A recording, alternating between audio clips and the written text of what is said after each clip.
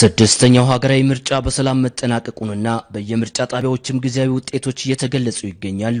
መራጩ ሕዝብን በየምርጫ ጣቢያዎቹ በመሄድ ጊዜያዊ ውጤቶችን ተመልክቷል። የተለጠፈውን ጊዜያዊ ውጤት ተመልክቶ ውጤቱን በጸጋ በመቀበል ወደ መደበኛው ተግባሩ ወደ ልማት ተመልሷል። እኛም ስድስተኛውን ሀገራዊ ምርጫ ለመዘገብ በተገኘንበት በስልጤ ዞን ወራቤ ከተማ ከሰሞኑን ተመርቀው አገልግሎት መስጠት የጀመሩ የልማት ስራዎችን ተዘዋውረን ተመልክተናል። የንጹህ መጠጥ ውሃ እጥረት ችግርን ለመቅረፍ ተገንብተው አገልግሎት መስጠት የጀመሩትን የሶጃት ኢንዱስትሪ መንደር የውሃ ፕሮጀክትንና የዲሌ ዳጤ የውሃ ፕሮጀክትን በቃኘንባቸው አጋጣሚዎች የአካባቢውን ነዋሪዎች አነጋግረናቸዋል። ወጣት አብዱራዛቅ ኡስማን በወራቤ ከተማ ነዋሪ ነው። ሶስት የገጠር ቀበሌያት ነዋሪዎችን ተጠቃሚ ባደረገው የንጹህ መጠጥ ውሃ አገልግሎት ደስተኛ መሆኑን ገልጾልናል። የወንዝ ውሃ ነበር እኛ የምንጠጣው። አሁን ግን ያው የምንጭ ውሃ አግኝተናል። ንጹህ ውሃ ነው የምንጠጣው። አሁን ተጠቃሚ በጣም በጣም ነው። አሁን እርካታችን የሌለ ነው። በስድስተኛው ሀገራዊ ምርጫ የራሱን አሻራ ማሳረፉን የገለጸልን ወጣት አብዱራዛቅ በቀጣይ ተመርጦ ያሸነፈው አካል የመብራትና የመንገድ ችግሮቻችንን የሚቀርፍልን መሆን አለበት ይላል። የምንጠብቀው ያው ከተመራጩ ማብራት ነው። አንደኛ ደረጃ ማብራት፣ ሁለተኛ ደግሞ መንገድ ነው።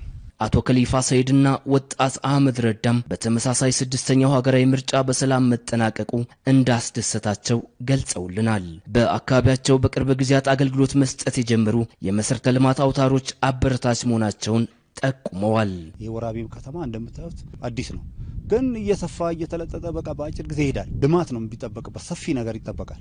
ከለውጡ በኋላ በርካታ የመሰረተ ልማት በከተማችን ዙሪያ በርካታ የመሰረተ ልማት አውታሮች ያው በቀደምም ከተማችን ያው ወራቤ ከተማ አስተዳደር በርካታ የመሰረተ ልማቶች የሰላም ሚኒስትሯ ወይዘሮ ሙፈሪያት ካሚል በተገኙበት ያው በርካታ ልማቶች የተመረቁ መሆኑን ያው እኔ የማስታውሰው ነው። ስለዚህ በርካታ መንገዶች፣ ድልድዮች እነዚህ እና ለቀጣይ ደግሞ ሊሰሩ የታሰቡም እንዳሉ ያው በነዛ በኩልም የሰማነው ነገር አለ። በርካታ መንገዶች፣ ድልድዮች ያው ተሰርተዋሉ።